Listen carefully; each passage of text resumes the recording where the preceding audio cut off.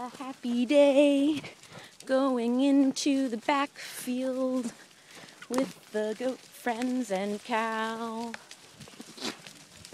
All the goat friends together, even Mr. Buckles, who's harassing all the ladies.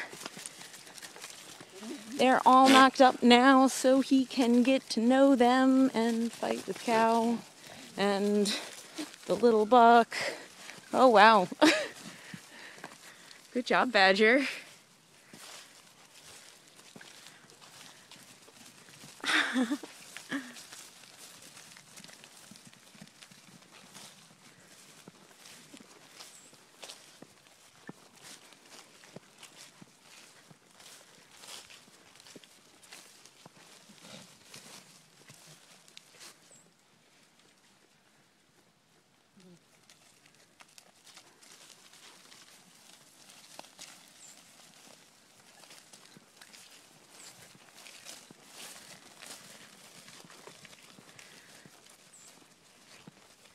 I do not understand why the cow is most excited about all of this. I think it's because she's in love with Mr. Buckles. And that's the third little buck, Cinnamon Toast.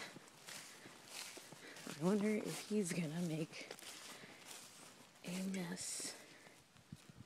Or if he's just gonna hide in plain sight.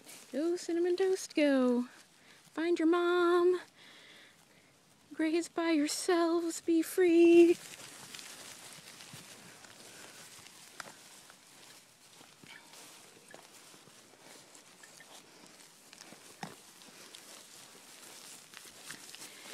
It is December 26th, and there's still plenty of grass on the ground.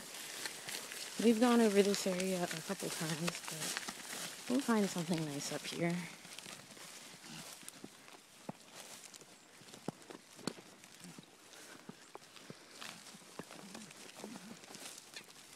Don't know what this behavior means. I I've never interacted with a cow except for this one. And this one's never met a cow. And she's really, really excited about Mr. Buckles.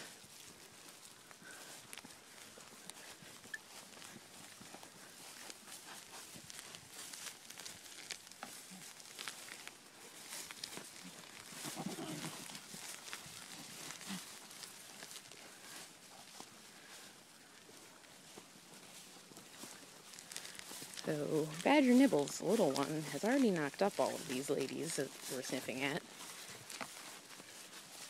Mr. Buckles has fathered many of the children, like that black and white one, and Beans here, and um, Lottie, and Sasha off of Lottie. And that one, Space Master, and likes to threaten little Badger.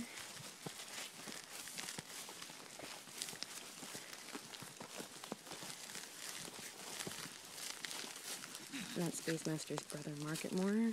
Also likes to fuck with Badger. Badger's got no horns. But they're wethers, they're gonna go. Bye bye, guys. Pretty soon. Soon as December manages to be cold enough, or January at this point, once January manages to be cold enough to actually be able to kill six or seven goats in a day, not go above 40.